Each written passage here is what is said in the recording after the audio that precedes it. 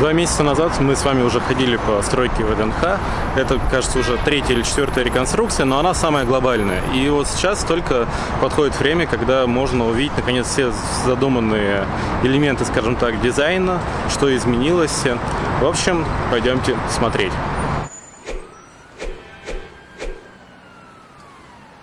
В этот раз мы пойдем не с центрального входа, а с северного. И вот здесь уже видны изменения, потому что вот там, где мы сейчас с вами идем, была большая парковка. То есть она заканчивалась вот где эти полукруглые тумбы. Сейчас здесь газончик, парковка осталась, но уже в более таком человеческом виде.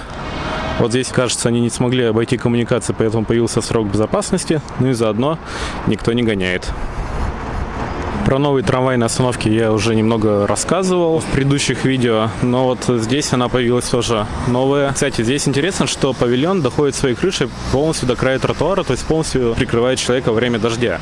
И это не совсем по нашим ГОСТам, но чтобы такое сделать, были получены специальные технические условия. То есть, если кто не знает, даже вот наши суровые советские старые непонятные ГОСТы можно обойти при большом желании. Как вот было сделано как раз здесь, потому что иначе был бы отступ и все равно место, где вот э, заливал оставалась бы вода. Собственно, вот хорошо видно, сколько осталось места и что человек останется сухим. Тут у нас уже новая навигация стоит и страшные покрашенные люки. Да, московский комплекс ЖКХ до сих пор не умеет класть нормальные красивые люки, но зато очень хорошо умеет их красить. А здесь заодно виден нормальный пешеходный переход со светофором, со строком безопасности, все как полагается. Вот как раз таким должен быть нормальный пешеходный переход, чтобы он был безопасный и чтобы людей не сбивали насмерть. Тут даже можно, в принципе, убрать вот все эти знаки пешеходного перехода, то есть даже не вот рамки, а сами знаки, потому что и так считывается, что здесь пешеходный переход, и к тому же здесь есть светофор. И вот мы с вами подошли к другой большой парковке, которая находится прямо у ДНХ. И здесь уже не все так хорошо, потому что, по сути, остался такой асфальтовый плац. И все-таки, если вы делаете плоскостные парковки, то нужно разбивать э, места деревьями. И это будет снижать нагрев поверхности, парковка не будет смотреться чем-то враждебным, и в целом городская среда не будет сильно от этого проигрывать. Вот, а сейчас, как вот был плац, так он и остался, несмотря на новую разметку, новый асфальт, фонари и так далее. Зато вот есть такие стоперы, чтобы никто не вздумал бесплатно заехать на платную парковку. Тут раньше был крайне сложный и непонятный перекресток. Сейчас появился круг э, с надписью ВДНХ. А еще здесь появились такие вот э, стрелы с навигацией под общий стиль московского транспорта, но вот э, с экраном, сколько свободных парковочных мест осталось. Ну и, собственно, вот остатки, небольшая часть пешеходной навигации. Напомню, высаживают деревья осенью или весной, когда корневая система спячки, чтобы деревья максимально прижились. Вот, а если вы видите, что кто-то сажает деревья летом, то, ну, скорее всего, эти деревья цветут 1-2 года, а потом умрут. То есть вот запаса прочности у них хватает на несколько лет, а дальше все. Вот тоже пример прилегающей территории, где провели благоустройство. Ну как, типично асфальт на плитку, скамейки на другие скамейки. И вот э, появились такие лавки. Они, конечно, выглядят очень прикольно, но все-таки на них скорее удобнее лежать, чем сидеть. И ладно, если бы там э, было несколько вариантов, там рядом скамейка со спинкой, рядом вот такая, но нет, только вот такие. Плитка, конечно, намного лучше асфальта, она как минимум эстетичнее и более экологичная, но вот э, проблема таких вот э, плацев, не асфальтовых, а уже плиточных, они, она не исчезает. И ладно, если бы в Москве укладывали плитку на такой суровый э, сэндвич из щебня, песка и других вот материалов, чтобы вода смогла уходить вниз. В Москве укладывают плитку на бетон, и то есть вода все равно никуда не уходит, и поэтому вот проблема водотвода, она остается всегда актуальной. И вот это, конечно, не есть хорошо. Хотя, да, строителям так проще делать, но все-таки в долгосрочном плане лучше бы делали плитку, которая может проводить через себя воду было решено немного изменить планы и взять велосипед, чтобы на нем уже исследовать ВДНХ. Собственно, для ВДНХ вот самый лучший вид транспорта это велосипед, потому что очень большие расстояния и в целом не очень комфортно вот все это обходить пешочком, поэтому вот э, едем. И сразу видно, что здесь закончили делать главную аллею, полностью открыли для людей, теперь не нужно проходить через заборчики. Это таки неплохо. Вообще было бы классно на территории ВДНХ запустить какой-нибудь прокат без э, станции, чтобы можно было брать брать в одной точке и оставлять в другой. Но пока до этого, конечно, далековато. Вот такое неплохое озеленение. А еще впереди, кажется, появился амфитеатр. С павильонами работа еще продолжается, но тут, в принципе, все понятно. Их наверняка будут делать намного дольше, чем вот реконструкцию самого комплекса. Все-таки архитектура и детали не терпят спешки, а асфальт можно положить довольно-таки быстро. Еще, кстати, очень хорошо, что здесь нету велодорожек. Потому что велодорожки в парках, как вы помните, это плохо. Довольно-таки неожиданно на ВДНХ появилась канатка. Про планы по строительству я, если честно, ничего не слышал. Вот, то есть знаю, что напротив э, Лужников такое делают и вроде как скоро запустят. А чтобы на ВДНХ делали не очень понятно, когда появились вообще такие планы. Но все-таки с прокатом без станций было бы, мне кажется, лучше, чем вот такая вот штука. Это павильоны, которые были сделаны еще в советское время, э, павильоны республик, по-моему, это Казахстан. Потом они были переделаны под более упрощенный вид, э, и там были уже представительства отдельных, э, отдельной промышленности, к сожалению, не помню какой. И вот сейчас возвращают оригинальный вид. Вот также еще один павильон такой же, чуть дальше, который просто, ну, их собирались реставрировать, сняли фальш-стену, увидели, что там вообще сохранилась оригинальная конструкция с декором, и было решено привести все это это дело в оригинальный вид для комплексности вида, скажем так, главной аллеи. Кстати, очень крутые сделали здесь э, павильончики, точнее ларьки. Я об этом уже говорил в прошлый раз, но они все еще остаются прикольными. А вот здесь устроится павильон Росатома. Это будет уже современная полностью постройка. Не знаю, как она будет сочетаться с другими корпусами. Хотя вот напротив э, переделали. Точнее как, полностью снесли и построили заново. Другой павильон, но он такой, скорее, нейтральный. Вот, и все это будет выходить на главную площадь с ракетой. Несколько лет назад э, с территории парка Горького привезли сюда копию Бурана. Вот, конечно, не понимаю, как парк Горького оказался такой памятной и знатной доминантой у себя, потому что, ну, это такой хороший магнит для людей. Но вот еще позже, по-моему, в прошлом году или позапрошлом, здесь сделали вот такую классную детскую площадку, которая, к сожалению, сейчас закрыта. Делали ее, кажется, датчане, и она довольно-таки крутая, я сам лазил по ней как-то ночью. Брутальную опору ЛЭП, к сожалению, не вернули на главную площадь пока что. И непонятно, вернут ли вообще. Не встречал информации. Зато вот в этом павильоне, говорят, сделали очень классный музей космоса. К сожалению, не получится в этот раз туда зайти. Надо будет как-то отдельно приезжать и идти туда специально. Но мы поедем за этот комплекс, за главную площадь, где, говорят, очень классно сделали пруды. То есть, прям говорят, там бомба какая-то стало довольно-таки ухоженно. То есть, чтобы вы понимали, вот раньше не было вот этой набережной и этих э, настилов. И, в принципе, да, был доступ к воде, что можно было спуститься, но так вот погулять здесь э, скорее было невозможно. Хотя вроде как давали катамараны. Сейчас пойдем чуть подальше. Там, кажется, сделали спуск к воде, а вот там доделывают что-то такое современное и крайне непонятное.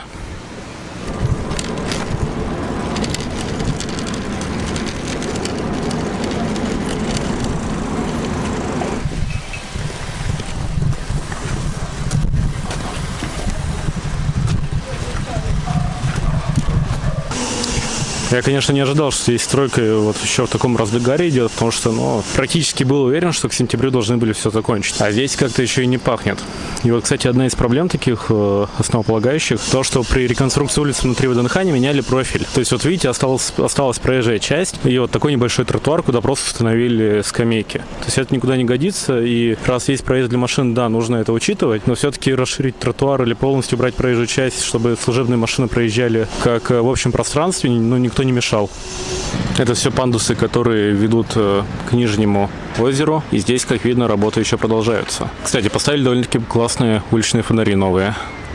Здесь действительно стало круто, что вот появились такие видовые точки, спуски к воде, в целом все облагородили. И очень классно, что используется дерево, то есть такой естественный материал, который приятно трогать. Но и просто весьма залипательно теперь смотреть на то, как вода спускается с верхнего озера.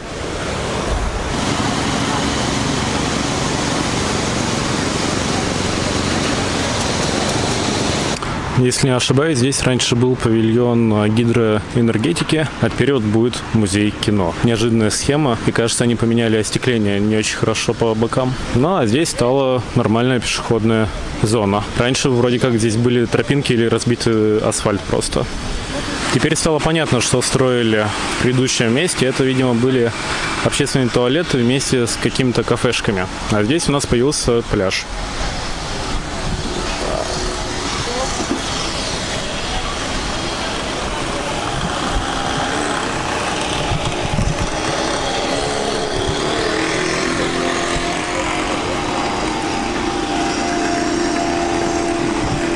Очень понимаю, как люди сейчас здесь могут отдыхать под звук отбойного молотка и бензопилы, но как факт весьма живописно, и когда на той стороне закончится ремонт, я думаю, здесь будет классно. Ну и, кстати, это к вопросу о заблуждении, что для пляжа нужен песок. Видите, в принципе, хватает лежаков и довольно приятной среды, чтобы люди спокойно отдохнули. Кстати, довольно любопытно, что вся уличная мебель здесь крутится.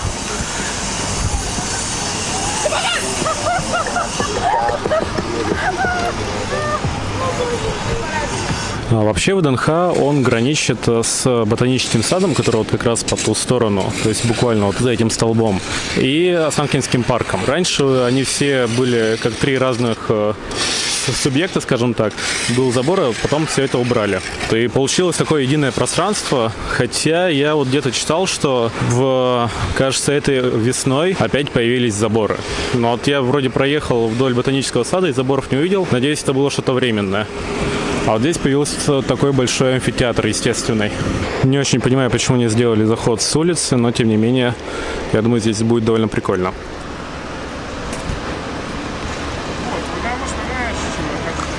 Что-то я как-то пропустил момент, когда на территории ВДНХ появилась часовня.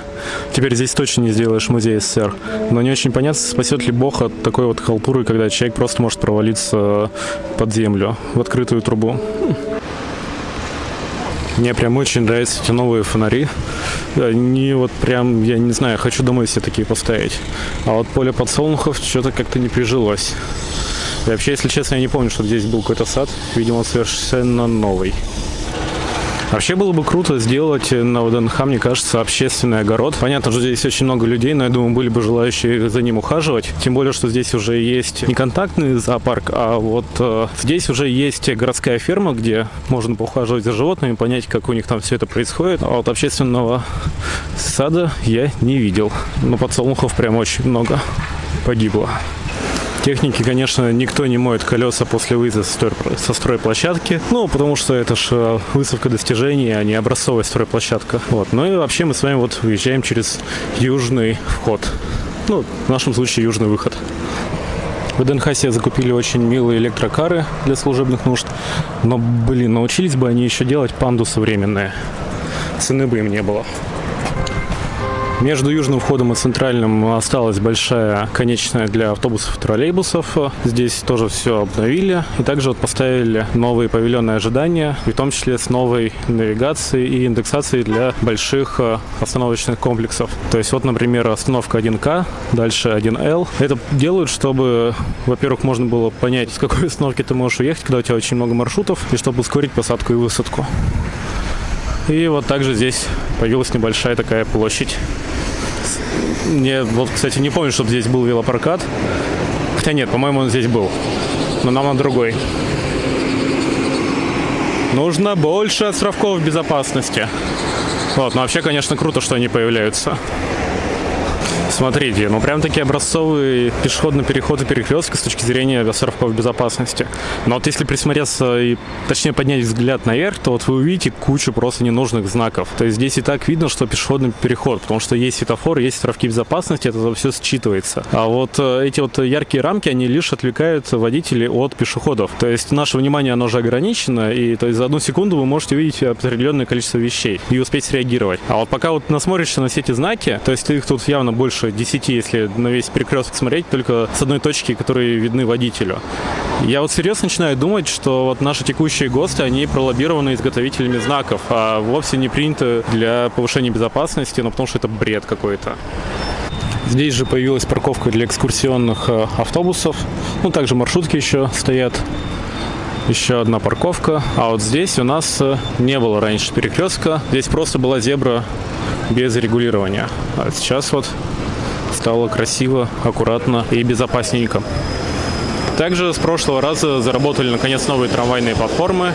Именно я не помню, я про них рассказывал или просто упоминал, но про новые платформы в любом случае я рассказывал. Смотрите, какие они новые и классные.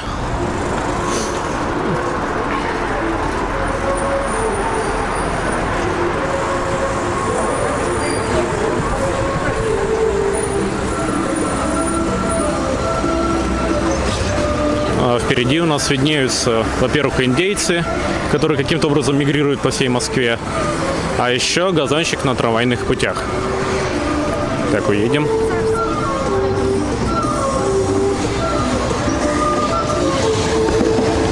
Про газон, опять же, я уже рассказывал более подробно. Слушайте, но вроде он еще жив цел орел. Вот, хотя немного желтеет. Надо будет делать выводы в следующем уже году, после зимы и наших реагентов. Ну а мы возвращаемся с вами туда, откуда начали, и сдавать едем велосипед. Потому что я и так уже просрочил бесплатное время. Я как-то вот несправедливо обошел транспортный вопрос, потому что вот вместе с реконструкцией ВДНХ была проделана большая работа по переносу остановок, э, по созданию навигации. Вот, например, видите, 4Б, 4А, 5, то есть э, приведено все это в нормальный вид, а также сделано очень много выделенных э, полос. Все проработали не только благоустройство, но и транспортную схему прокачали довольно-таки неплохо. И, кстати, это уже мой автобус. Поеду-ка я в центр обрабатывать для вас видео и фоточки. Ну что сказать, я как минимум облажался с тем, что думал, что работы уже все закончены, можно будет посмотреть на готовый результат, но нет. Открыли только центральную аллею полностью, ну и вроде более-менее навели марафет. Надо будет приехать сюда еще попозже. Вот, ну а вы подписывайтесь на канал, не забудьте нажать на колокольчик, рассказывайте друзьям, а также в описании у меня есть ссылки на остальные мои каналы и группы. Пока!